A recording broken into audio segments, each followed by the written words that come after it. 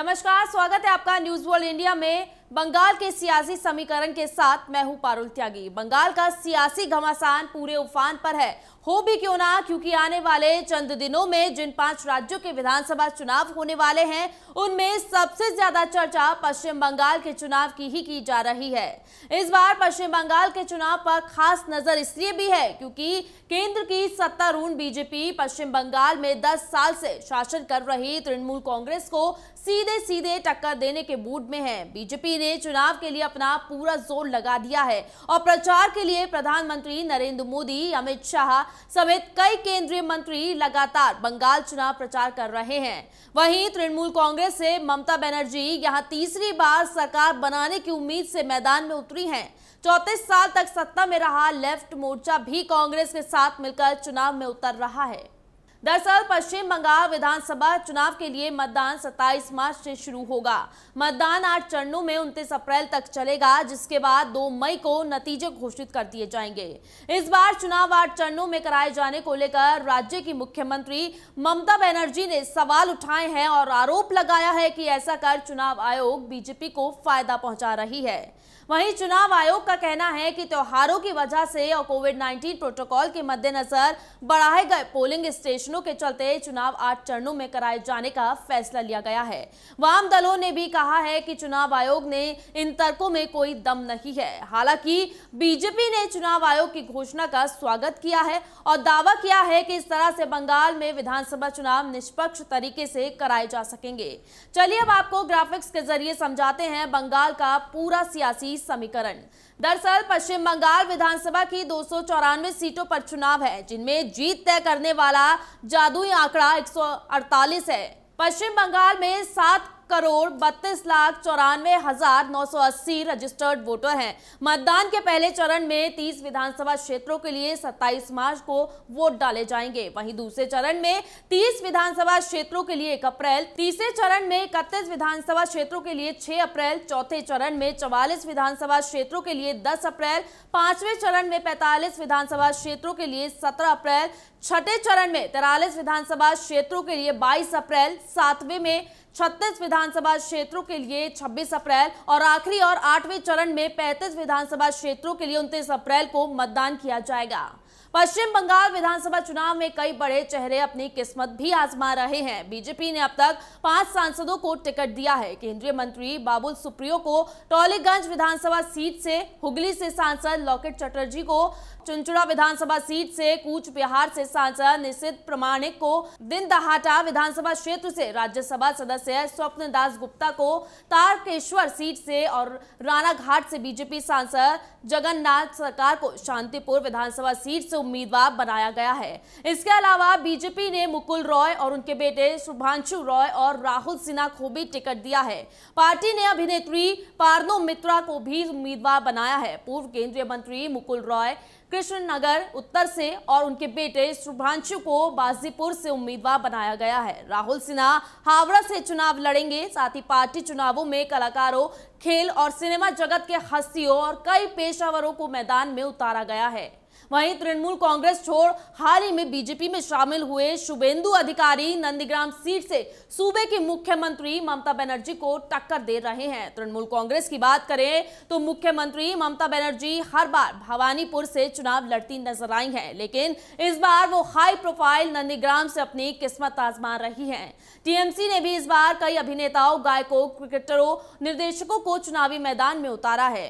जैसे क्रिकेटर मनोज तिवारी को शिवपुर से टिकट मिला है और अभिनेताओं में सयानी घोष को आसनसोल, दक्षिण, जून मलैया को मोदिनपुर, सायांतिका बनर्जी को बांकुरा और अभिनेत्री कंचन मली को उत्तरपाड़ा निर्वाचन क्षेत्र से उम्मीदवार बनाया गया है। इसके अलावा टीएमसी ने फ़िल्म निर्देशक राज चक्रवर्ती को बैरकपुर निर्वाचन क्षेत्र से प्रत्याशी बनाया है। लोक गायक अदिति मुंशी को उत्तर चौबीस परगना के राजरहाट गोपालपुर सीट पर उम्मीदवार बनाया गया है। ऐसे में टीएमसी की लिस्ट में दो और नाम दिलचस्प हैं, रत्ना चटर्जी और सुजाता मंडल खान, जो बीजेपी में शामिल अपने पतियों के खिलाफ चुनावी मैदान में उतर रही हैं। इनमें बीजेपी सांसद सौमित्र खान की पत्नी सुजाता मंडल और बीजेपी नेता शोभन चटर्जी की पत्नी रत्न चटर्जी शामिल हैं। दोनों की उम्मीदवार अपने पतियों से अलग रही है। वहीं वाम मोर्चा, कांग्रेस और एआईएसएफ वाले गठबंधन ने कई अहम चेहरों पर दाव लगाया है। इनमें पश्चिम बंगाल प्रदेश कांग्रेस कमेटी के वरिष्ठ नेता नेपाल महतो अपनी मौजूदा सीट भागमुंडी से चुनाव लड़ेंगे। आईएसएफ के अध्यक्ष सिमुल सोरेन हुगली ज़िले के हरिपाल से चुनाव लड़ेंगे। मार्क्सवादी कम्युनिस्ट पार्टी ने इस बार कई युवा चेहरों को चुनावी मैदान में उतारा है, जिनमें जेएनयू के छात्र संघ अध्यक्ष 25 वर्षीय आयशी घोष जुमरिया सीट से उम्मीदवार के तौर पर लड़ेंगी। वहीं डीवीएफआई की अध्यक्ष मीनाक्षी मुखर्जी, नंदीग्राम में मुख्यमंत्री ममता बनर्जी और बीजेपी के शुभेंदु अधिकारी के खिलाफ चुनाव लड़ेंगी। पश्चिम बंगाल चुनाव में जिन विधानसभा सीटों पर सबकी नज़र रहेगी, उनमें नंदीग्राम सीट सबसे प्रमुख है, जहाँ ममता बनर्जी और शुभेंदु अधिकारी के बीच कड़ी टक्कर है। साथ ही, जिन सीटों से बीजेपी के पाँच सांसद लड़ रहे हैं, वो भी नज़र में रहेंगी। इन सीटों में टॉलीगंज, चुनचुड़ा, दिनहाटा, तारकेश्वर, शांतिपुर विधानसभा सीट शामिल है। इसके अलावा कृष्णानगर उत्तर सीट, जहाँ से पूर्व केंद्रीय मंत्री मुकुल रॉय चुनाव लड़ रहे हैं। जमुरिया सीट पर भी नज़रें होंगी जहाँ से आयशी घोष चुनाव लड़ रही है। वहीं बीजेपी के बड़े नेता अपने चुनाव प्रचार में पश्चिम बंगाल के लिए प्रगतिशील बांग्ला और सोनार बांग्ला जैसे शब्दों का इस्तेमाल कर रही है। वहीं प्रधानमंत्री नरेंद्र मोदी ने अपनी रैलियों में आशोल परिवर्तन की बात कही है। यानी ऐसा बंगाल जहाँ गरीब से गरीब को भी आगे बढ़ने का पूरा अवसर मिलेगा।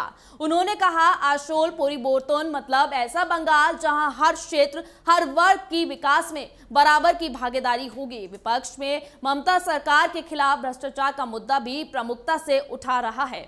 वहीं ममता सरकार पर अम्फान रिलीफ फंड में गड़बड़ी जैसे आरोप लगाए जा रहे हैं। साथ ही बीजेपी बुआ भतीजे की जोड़ी को भी निशाना बना रही है। केंद्रीय मंत्री अमित शाह समेत बीजेपी के अन्य नेता लगातार अपने भाषणों में बनर्जी को तोलाबाज बाइपो शब्द का इस्तेमाल कर उन पर हमला बोल रहे हैं और गलत तरीके से धन जमा करने का आरोप भी लगाते आ रहे हैं। ममता बनर्जी और उनके भतीजे और डायमंड हार्बर सीट से लोकसभा सांसद अभिषेक बनर्जी इन आरोपों को कड़े शब्दों में इनकार करते रहे हैं। इसके अलावा बीजेपी के चुनाव में प्रमुख प्रतिद्वंदी बन जाने के बाद से हिंदुत्व का ध्रुवीकरण और तुष्टीकरण के मुद्दे लोगों की ज़ुबान पर हैं। ममता बनर्जी बीजेपी के खिलाफ देश में महँगाई, गैस के बड़े दाम और पेट्रोल, डीजल के बड़े दामों का मुद्दा बना रही है। चुनाव में सभी दलों की नज़र मतुआ समुदाय पर है। उत्तरी बंगाल में करीब सत्तर विधानसभा सीटों पर इसका समुदाय का प्रभाव है। इस समुदाय के लिए नागरिकता बड़ा मुद्दा है। यहाँ एनआरसी, सीए जैसा वैसा मुद्दा नहीं बन पाया जैसी उम्मीद की जा रही थी। बीजेपी ने भी इस मुद्दे को चुनावों में नहीं उठाया है। मतदान संपन्न होने के बाद नतीजों की घोषणा रविवार, यानी कि दो मई को की जाएगी। चलिए अब एक नज़र पिछले यानी कि 2016 चुनावी समीकरण पे डालते हैं। 2016 के विधानसभा चुनाव में ममता बनर्जी की तृणमूल कांग्रेस से 211 सीटें जीतकर दो तिहाई बहुमत हासिल की थी। वहीं बीजेपी को महज तीन सीटें मिली थी। लेफ़्ट कांग्रेस की बात की जाए तो गठबंधन राजनीतिक पंडितों के अनुमान के मुताबिक कमा, कमाल नहीं कर पाया था और सतहत्तर सीटें ही जीत सका था। हालाँकि कांग्रेस ने चवालीस सीटें जीतकर अपना सहयोगी लेफ़्ट दलों से बेहतर प्रदर्शन किया था। 2019 के आम चुनाव में बीजेपी ने 42 लोकसभा सीटों में से करीब करीब आधी, यानी कि 18 सीटें जीतकर पश्चिम बंगाल में बड़ी कामयाबी हासिल की। और टीएमसी ने 22 सीटें जीती थी, जबकि लेफ़्ट एक भी सीट जीतने में नाकाम रही। इस चुनावी घमासान के बीच अब देखने वाली बात यह होगी कि बंगाल में जब महज दो दिन का वक्त बचा है मतदान के लिए तो वहाँ की जनता क्या टीएमसी को अपना समर्थन देगी या फिर बंगाल में बीजेपी कमल खिलाने में कामयाब हो पाएगी?